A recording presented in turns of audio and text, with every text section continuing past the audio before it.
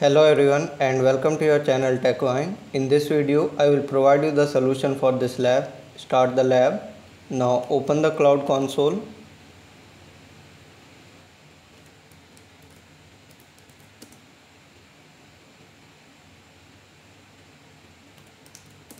Once you are logged in, open the cloud shell Now go to the description of this video. You will find a link of my GitHub repository. Now you have to download this file. Click on this icon. Then simply save it. Again go back to the cloud shell. Now you have to upload this file. Click choose files. Now simply upload the file.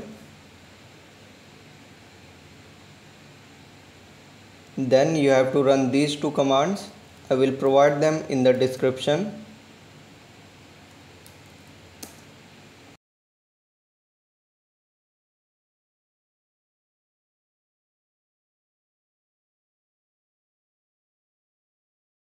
Once the command executes, you can go back to the lab and check for the progress of all the tasks.